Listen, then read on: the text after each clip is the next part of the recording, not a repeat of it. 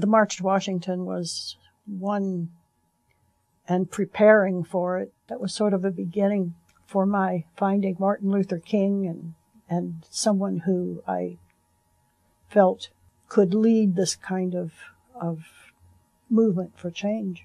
Of course, to this day, where I grew up is, is, uh, still trying to figure out what all of that was about. I'm 77 and a half years of age.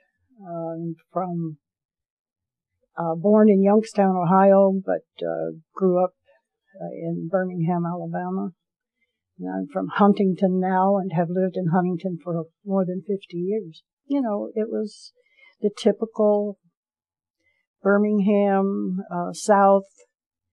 we, we tossed the word around racist they were very uh, discriminating about where black people were supposed to be and what they're supposed to do. And the only encounters I ever had with blacks were housekeepers.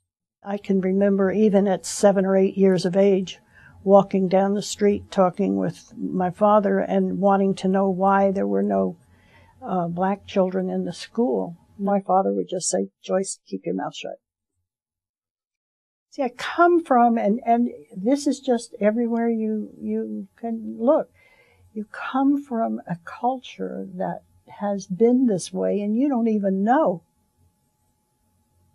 what is going on until you get hit with these kinds of, of um, diversities.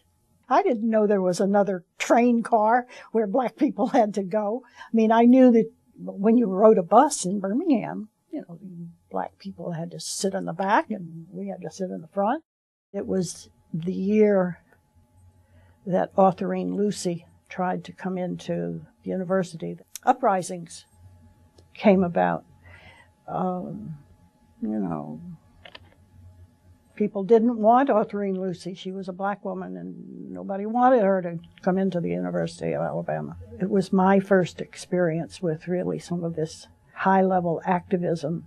The Ku Klux Klan showed up in their long robes, and there were probably 10 or 15 men and a burning cross, and they stood outside uh, in a parking lot right next door to the building and had their meeting, and um, I stood on the steps at the foundation and looked out at it and thought to myself, "What is this all about?"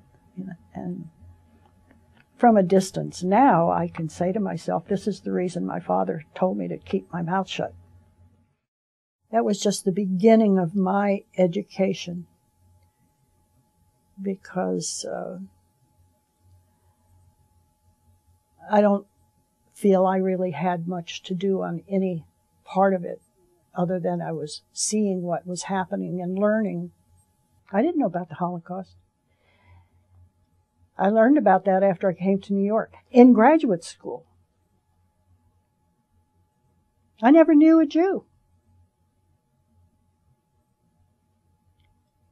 And again, I'm saying why was this whole world of diversity closed out for me? It took a long time for me to find out. And I still have family members down in Birmingham who are behind on those learning experiences.